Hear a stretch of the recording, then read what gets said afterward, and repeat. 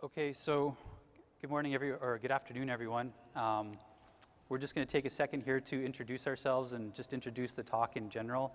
Uh, so, uh, what we're here, hopefully, everyone is here for the when one cloud is not enough, an overview of sites, regions, edges, distributed clouds, and more. So, sorry about the long title, but uh, there's a lot of different terminology and a lot of different words that people use to, to sometimes describe the same thing. So that's sort of how we ended up with this this title. But I guess the main point is that uh, if you're deploying more than one cloud, you have a lot of decisions to make, and, and what are those decisions, and how do you make them? And you know, personally, uh, when I go back to uh, my home in Edmonton, Alberta, Canada, I've got some some thinking to do about how to do tens or even 40 or 50 clouds for same, the same organization. So that's uh, that's what we're here to do today is just give you an overview of that information. Uh, so my name is Curtis Collicutt. Uh, I'm an OpenStack architect, uh, so to speak. I am uh, working on a working group within the OpenStack community called the OpenStack Operators Telecom NFV Working Group. And uh, we're working to help people like myself do their day-to-day -day work, which is not a telecom operator, but an OpenStack operator. So you don't get too confused with those terminologies either. But, uh, and I work at a company called Interdynamix, which is out of Edmonton in Canada. So, hello. Um, I'm Chaoyi Huang. Um, I'm the current uh, PTL of uh, OpenStack Tricircle project. And I'm also the PTL of uh, multi-site project. So good afternoon, everyone. My name is Adrien Lebre. I am the chair of the new uh, massively distributed cloud working group that deal with the fog and the edge computing challenges. And I'm also the chair of the Discovery Initiative, which is an open science initiative that try to revise OpenStack uh, in order to make it fog and edge computing compliant. So uh, as Curtis uh, uh introduced uh, previously, uh, the goal of our meeting actually is to try to clarify, let's say, major pieces of the OpenStack ecosystem when we talk about multiple location clouds.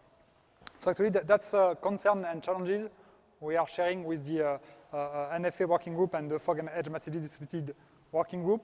So we have this common interest about this multi-site, uh, multi-location deployment. So the goal of the talk is to give an overview of, if possible, an exhaustive one of all solution and all building blocks that are available in the OpenStack ecosystem in order to operate such a multi-site deployment. Then we will make a focus on the, uh, the OPNFV side I will uh, uh, give a short overview of uh, what we are doing right now in the Fog Edge Massively Distributed Cloud Working Group. And finally, Curtis uh, will conclude this talk by giving the takeaway message. So when we start to make this presentation, we try to identify some keywords, let's say, that have some links with this notion of having several clouds uh, with the goal of operating them through a single OpenStack. So we put some word we have in mind, and actually, uh, even during this morning, I heard new word that I can put on that slide. This morning we have a, a great talk about eBay folks uh, that were uh, presenting uh, the Mesh Master solution. Uh, we have also this talk about Verizon. So that means that actually we can continue to complete these slides with new words. And the goal of our talk is to try to clarify and to make this simple. So to this end, we propose to uh, use as a red thread three use cases. A simple one, where actually you want to provide VCPE solution for the NFV world. Then uh, uh, some use case around the, the uh, uh, fog and edge infrastructure. And finally, what we call the cloud federation, which is something that is quite useful for the academics. So the goal of our presentation is to give and to identify what are the building blocks that can cover these different use cases. So roughly, the idea is to check how you should deploy the main OpenStack components through the different locations in order to be able to orchestrate, operate, supervise, and use such a distributed clouds. So that's uh, uh, the uh, old vision of the OpenStack when you want to present the architecture of the OpenStack. What you should consider is that actually it's not just five components that should be distributed across different locations, but actually it's a set of mechanisms. It's a set of daemon process databases that you should deploy across the different locations in order to be able to operate your clouds. And the goal, once again, of our talk is to try to uh, give you some premise, some hints about what you can do. So as I mentioned, there is a, a different solutions to cover these three use cases.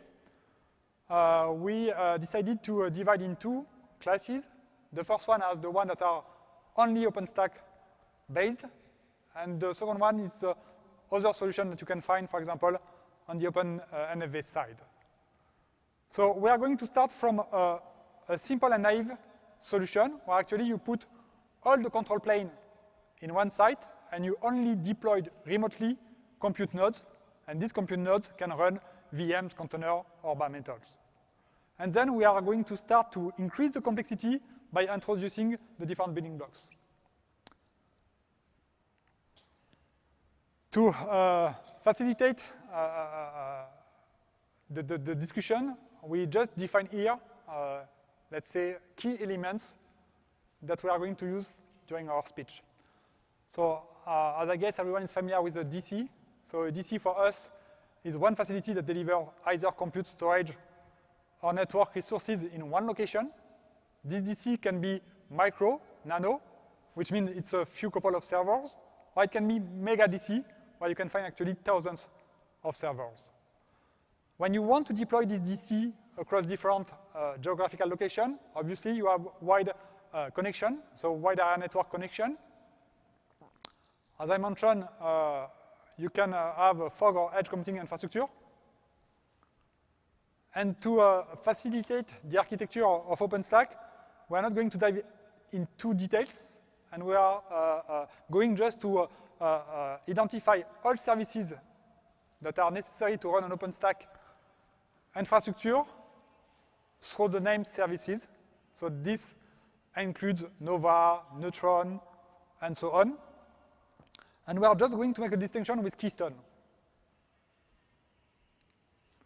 So as I mentioned, the, the first uh, uh, way to operate a, a multi-site location deployment is to keep all the control plane in one center, one centralized center, and to only uh, uh, deploy remotely the compute node. So this use case, for example, covers the VCPE use case for the NFV uh, world. And the idea is to check how you can orchestrate such an infrastructure. So it's quite simple. You deploy OpenStack as you are used to deploy in one location. And actually, we'll have the RabbitMQ, for example, that will be across all locations. And you can, uh, if you want, you can segregate this infrastructure by using uh, the availability zone and the host aggregate. So once again, in the first DC, in the master DC, you will find Keystone services, all services that are uh, uh, usual, Neutron, Nova, and so on, and the API. And on the remote side, you will find only the compute nodes. So this uh, uh, scenario, this deployment is quite simple. This is the, the usual one. And obviously, uh, it has a lot of cons. So for example, what about the network? What about the impact of the latency? What happens when my compute node talk with my remote services and reciprocally? What are the bandwidth constraints? What about Neutron? Do you need to deploy uh, DVR? What about Cinder? What happens if I want to uh, attach a remote volume? So what does it mean? It means that all my traffic will go through the wide area network links. What about the high availability? What about the security management? So you have a lot of cons. And maybe the first one is about the scalability. So the idea will be to check how you can segregate your cloud in order to uh, deal with the scalability issue. So Curtis.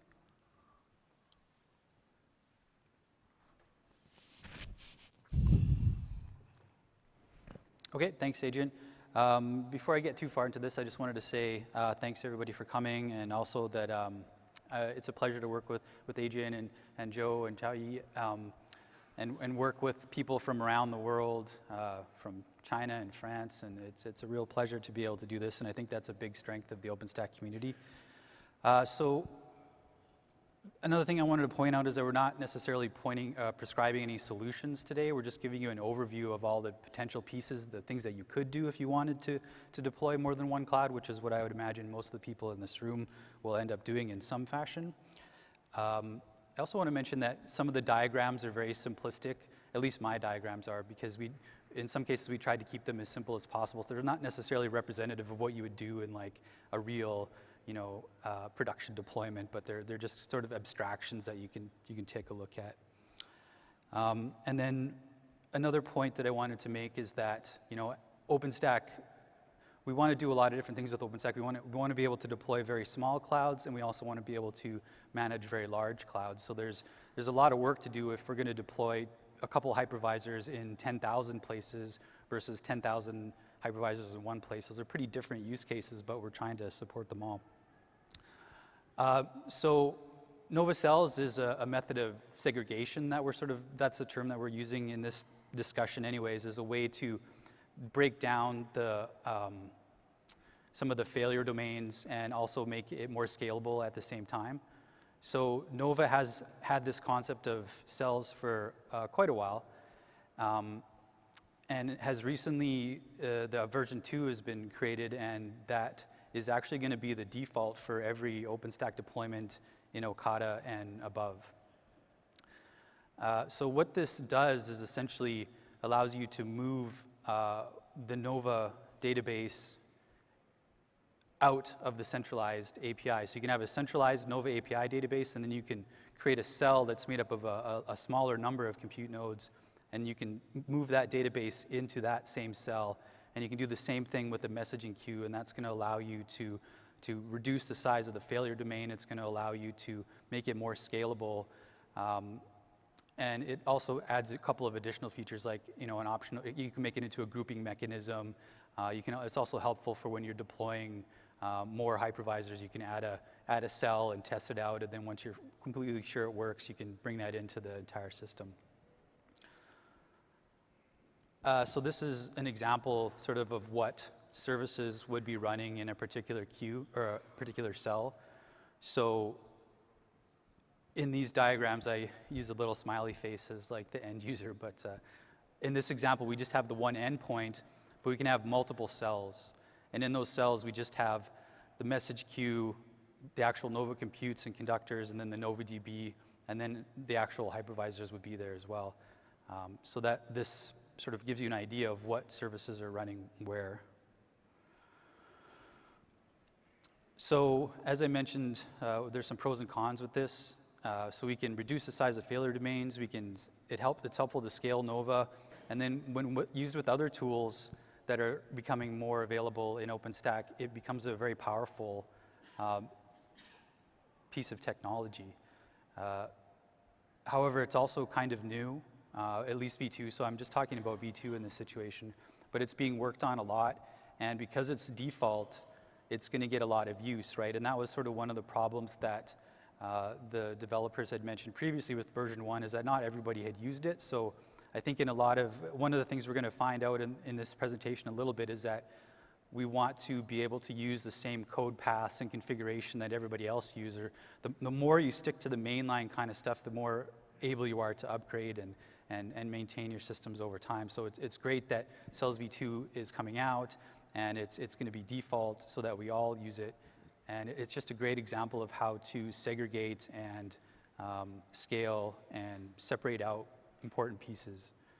Um, and then when you use it with technologies such as uh, what I believe are called right now routed provider networks, you can really start to see how you can segregate your network, segregate your compute nodes, and it becomes very powerful.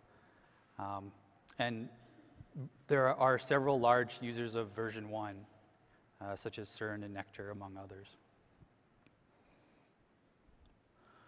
So as we progress through the presentation, we sort of, we keep, we're gonna go through different technologies and, and methodologies. So we talked about, um, you know, a baseline deployment where you have uh, centralized everything and you're willing to put compute nodes and other pieces in different, across the WAN. Then we talked about cells, and now we're gonna talk about regions, which is sort of where my background is because uh, previously I worked to uh, deploy a public cloud in Canada and regions made a lot of sense for me at the time because with a public cloud, you might only have one or two or maybe three regions. And uh, that makes a lot of sense when you're doing a, a public cloud, uh, when, you, when that's the kind of numbers of regions that you're looking for.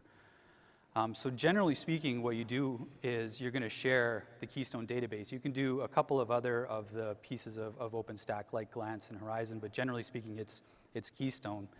And what you do is you share that across each of your regions, usually having some sort of um, private, uh, secure, uh, wide area network. Uh, but there's some limitations with that as is basically it just allows you to do authentication and authorization, but it doesn't generally allow you to do quotas and SSH keys and images and, and all these extra pieces of functionality that you need in order to run uh, two or three regions, let alone you know 40 clouds.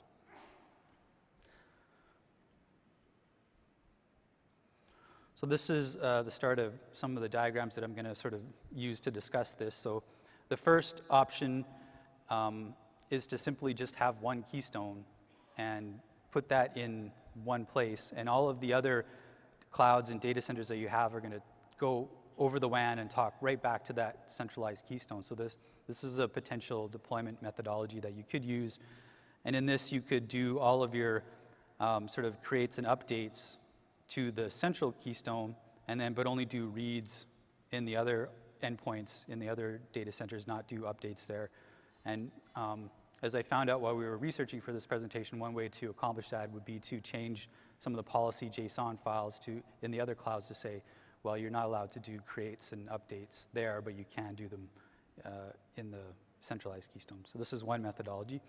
And also I should note that I'm not showing sort of any HA capability, you know, like you might be running three, uh, a, a cluster of MySQL Galera instances to manage this keystone, and there's all kinds of, but I'm just not showing that right now. Um, so another possibility that you could use to do this is to have, still have that primarily, primary centralized keystone, but have secondary uh, databases that are in the other two clouds, and they're asynchron asynchronously replicated to the other regions. So you still do all of your reads and writes, or all of your sort of creates and updates in the centralized region, and you can do reads in the other ones, but you have a, a secondary copy of your centralized MySQL database that's asynchronously replicated to the other regions.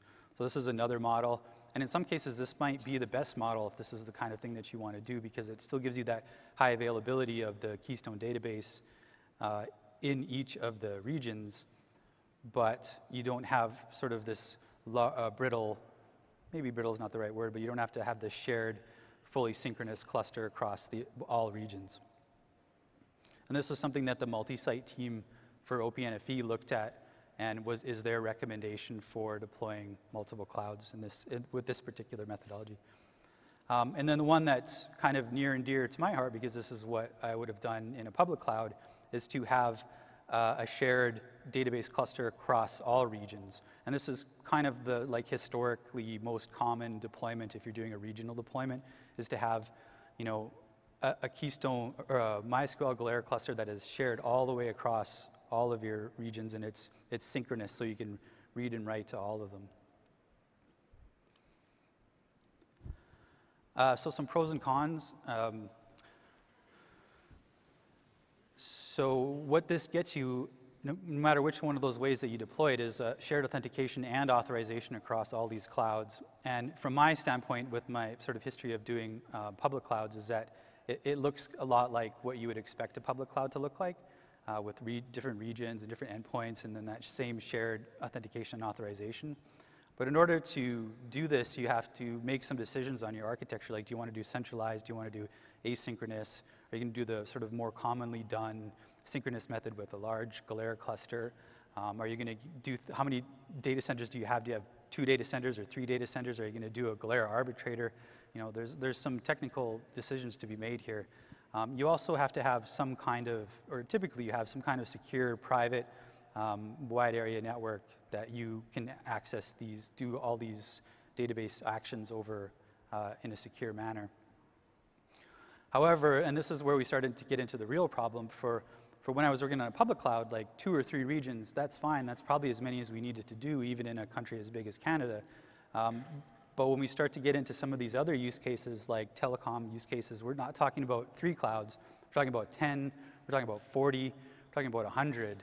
Um, and this sharing a, a, a, Galera database across that many no regions just doesn't, it's just not going to happen, right? So might, the, the asynchronous might work in that situation, but there's, in general, it's, it's probably not the best solution for this uh, large number of clouds.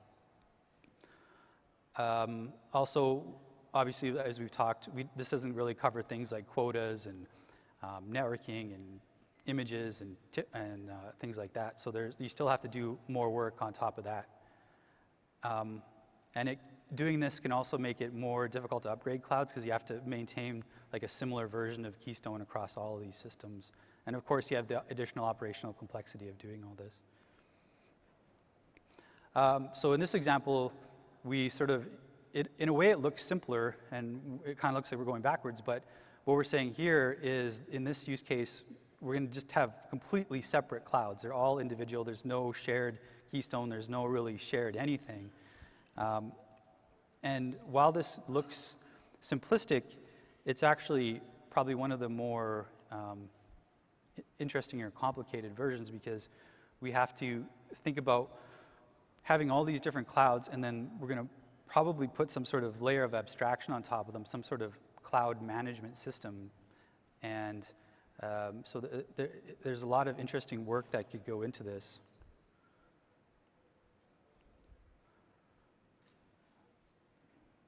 And, and we might have time to talk a bit more about that particular use case. Um, also, what uh, I wanted to talk about is, also, is OpenStack Federation, which is another technology that can be used for identity, for authentication and authorization. Um, it was kind of mentioned by Adrien at the beginning there, where this is a, a, a kind of a common desire for usually um, nonprofit or academic organizations who have a cloud and they want to be able to use somebody else's cloud or share their resources. They want to be able to share resources across different clouds. Um, and what it does is essentially allows you to establish some kind of trust with another cloud. So you could say, well, all, I have users in my cloud, and we're going to, another cloud is going to trust those users to, to use resources in their cloud. Um, so like the, the canonical example of this is, say we had a Canadian OpenStack cloud and a European OpenStack cloud, and they wanted to share resources and allow users in one cloud to access resources in another and, and so forth. So federation is, is, is how you would typically do that. Um, so in this example, users of the Canadian OpenStack cloud would be able to access resources in the European cloud. And in this example, they would be using what they were calling keystone to keystone federation. Uh, and what I like about federation is that it, it seems to me like a very good way that you could do some sort of centralized identity, right? So in this example, we're talking about multiple organizations, but even with one organization, you could use federation as a centralized identity system. Uh, so the pros with this are that you get shared authentication without the need for doing the shared um, keystone. Uh, we don't have to synchronize everything. Uh, and some of the cons are that it's, it, you have to understand it. There's some complex configurations. There's a lot of work that you're going to have to do to get a good understanding of how it works and how to map users to groups and, and things like that. Um, and there may be some additional work that you have to do in terms of cleaning up resources. So with that, I'm going to hand it over to my colleague.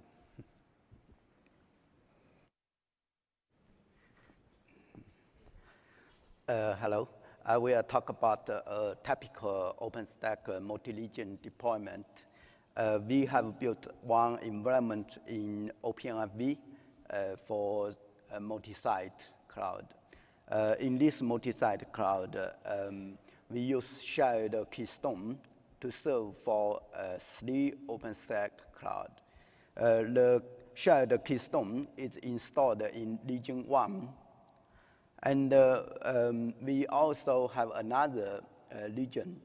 Uh, the central neutron and the tricircle uh, is running in a virtual machine uh, provisioned in region 1. And uh, uh, neutron and the tricircle, the central neutron and the tricircle uh, is a central region in the multi-region cloud. Um, in this uh, environment, we also uh, provide the cross uh, version compatibility. Um, we use Newton version OpenStack Cloud, but for uh, central neutron and uh, tricircle. We use the Pike version. Uh, it's the latest uh, code. Um, this environment uh, is to um, support the VNF, the telecom application, uh, to realize cloud level high availability. Um, two applications um, planned to deploy in this uh, multi-region cloud. One application is called uh, VMS. VMS is to provide VoIP service. Um, another application is video conference. Uh, this demo uh, will be shown uh, in OPNFV Beijing Summit uh, in June. And now uh, we are doing the application onboarding. Um, to realize the cloud level high availability, the VMS will be deployed into uh, three regions. Uh, the non-HA components of the VMS will be deployed in region 1. And in region 2 and region 3, um, the VMS uh, high availability component uh, will be in deployed in these two regions. If one region clashed or one region is in planned downtime or unplanned downtime, then the VMS in another region can still provide service to the end user. This is to uh, support uh, application cloud level high availability. That means even one cloud uh, is not so uh, high availability, or uh, one cloud uh, only can provide three nine, but from the application level, the application can still build five nine services. Um, to realize the cloud level high availability, um, there is one requirement uh, to provide the networking between the uh, HA components. So uh, the, the data uh, in the HA components will be shared in different regions. So the networking for the east-west traffic is needed for the application. And at the same time, um, the application will provide the service um, in each region uh, respectively. That means uh, in each region, um, the OpenStack needs to provide the floating IP service to the application. That means that also means the north-south traffic will be handled in uh, OpenStack separately. Uh, to finish the uh, networking topology, Tricircle will help uh, this to be uh, done. Uh, Tricircle um, has two parts. One is the local plug-in installed in local neutron for example, in region 1, region 2, region 3, we will install local plug-in. And uh, in the central neutron server, we will install the uh, central plug-in. So when you create the networking topology, you can create the topology in the central neutron server in the step one. The underline, you can put the virtual machine in NOVA uh, in different OpenStack region to use the network uh, provision in the central neutron. And uh, the NOVA will talk to local neutron. And the local neutron plug-in will intercept the request and talk to the central neutron. Central neutron with the Tricircle central plug-in will coordinate the multiple OpenStack uh, neutron service to establish the network between different OpenStack clouds. Um, there are four basic uh, networking elements in Tricircle. One is the local network. Local network means uh, the network can only be in one OpenStack cloud. And uh, uh, local router also only work in one OpenStack cloud. For local network, uh, it supports uh, uh, VLAN, VXLAN, and uh, flat network. So when you create a, a network or router in the central neutron server, if you specify the region name in the availability zone hint, then you will create one local network or local router. Uh, except the local network and the local router, uh, Tricircle provide the magic uh, networking uh, element, cross OpenStack L2 network. Uh, a cross OpenStack L2 network means uh, the network can be stretched into multiple OpenStack cloud. Um, the, the cross OpenStack L2 network can, can also be a flat network or VLAN or VXLAN. Line for the uh, non-local router. Non-local router is one logical router. This logical router will be distributed into multiple OpenStack cloud. And uh, this distributed uh, router will be interconnected with one cross OpenStack L2 network. We call this uh, cross OpenStack L2 network as bridge network. So uh, this logical router will be consisted of multiple uh, router and uh, bridge network. Uh, when you uh, create the network or router, if you specify more than one region name or availability zone name, or no uh, parameter was specified line, a cross OpenStack L2 network or non-local router will be created. So let's look at, uh, look back, what, what, what's the networking element used in the VMS network. Uh, for the bridge network, uh, it's cross OpenStack L2 network. And uh, for R4, 1, 2, 3, uh, they are considered as one non-local router. This non-local router is for the east-west traffic. And uh, network uh, uh, net 1, net 2, net 3 are local network. Uh, this network uh, will be used for the instance to, to be attached. And uh, for router, R1, R2, R3, they are uh, local router. Uh, in, even for the external network 1, 2, 3, they are also a local network. Uh, through this top, topology, um, automated by Tricircle, uh, east-west traffic uh, between OpenStack cloud and uh, uh, north-south traffic uh, in each OpenStack cloud could, could be supported.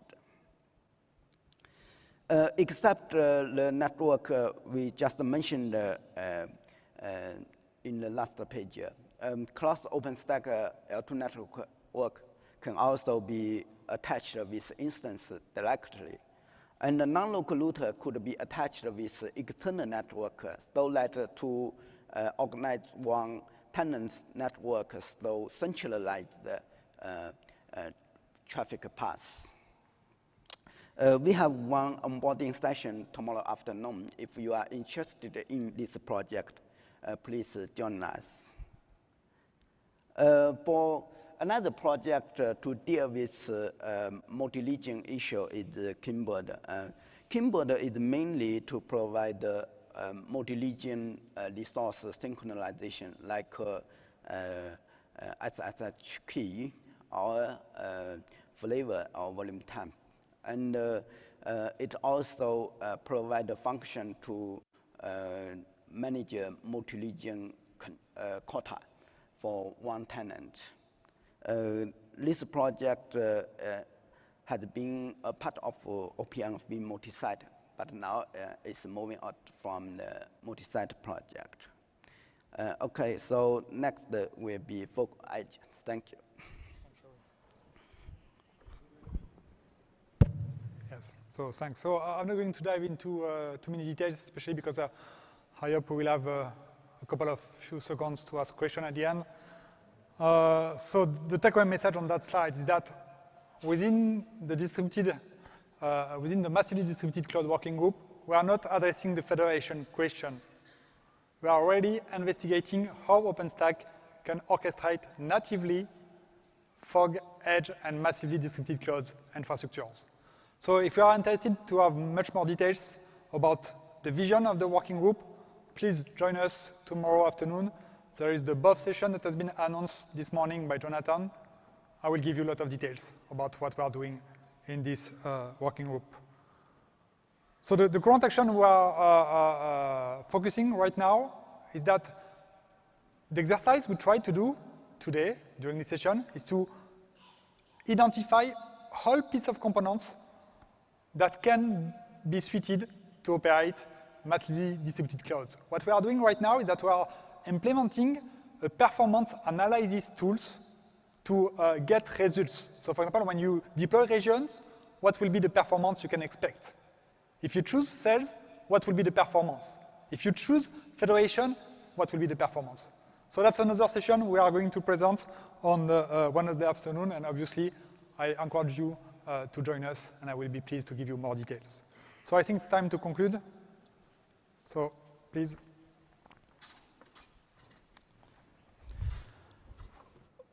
Okay, so we just have a couple seconds to conclude here. Um, we've discussed quite a few different solutions. Uh, there's a lot of rich, complex authentication options. Um, some of the components of OpenStack have really great segregation methods, and that's something that I'd like to personally see in some of the other uh, projects within OpenStack is an ability to segregate, uh, do cell-like things in other projects. Um, regions, which are sort of my historical method of using multiple clouds, uh, probably don't work in deployments where you have 10, 20, 100, or even 3,000 deployments. Um, there's, there's some work that's being done around that. Um, I, I, do think that uh, centralized identity using federation might be uh, a more powerful tool than we currently realize. Um, as Adrien was talking about, distributed clouds is a very important use case. Um, we also know that we can't always have a full HA control plane in every deployment. Uh, just we just can't do it like that. If you have a if you have 10,000 locations that you need to put hypervisors in and you want to do with OpenStack, well, you know, how do you do that? It, it, we're going to need to do some sort of distributed methodology. Um, and then we talked briefly, uh, we don't really have enough time, but uh, about multiple clouds, multiple separate, completely separate clouds. Well, what do you manage that with? In the NFV world in the, the ETSI NFV world, they've defined this management and orchestration layer called MANO. You know, like, is that what's going to do all of this work or something like it? And is that, as an OpenStack community, something that we're interested in or would we like to see a different solution? Um, and then as you can see, there's a, the, oops. Is that not going forward? Um, but uh, yeah, if we have any, I think that's it for our presentation. So if we have uh, a minute maybe for a couple questions, it'd be great to hear something. Hi, thank you for the presentation. It's really good. So what I saw is in my experience too, the, the, biggest challenge is the network blueprint design for deploying multi-site deployment and getting them together. What we saw our friends uh, design is three networks. One is the XNet for north, north, northbound to southbound, one on the bottom, east-west, and one on the middle, mainly for intra, intra-region for the multi-tenant tenant workloads, right? So in that sense, most of the service providers, at least the telco, will not likely like the idea of expanding one layer to broadcast domains across multiple geographical regions. Okay, this is this is this is a hurdle. If that's the case, did you ever consider using only layer three, as in the case of Calico, to implement communication between multi multi sites, even for east-west traffic? Thank you. For uh, layer 2 network, uh, uh, it's not uh, necessarily to be um, uh, used uh, in inter-cloud networking. even for VMS, in fact, um, it's slow layer 3 networking. The layer 2 network is only work for the um, network. It's only for the Bridge network. Yeah.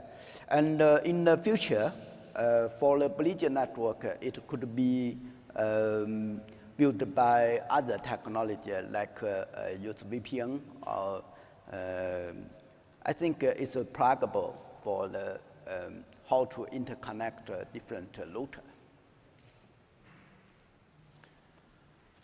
Okay, well, Uh, currently, VXLAN is only one of the options to bridge the routers in different OpenStack cloud.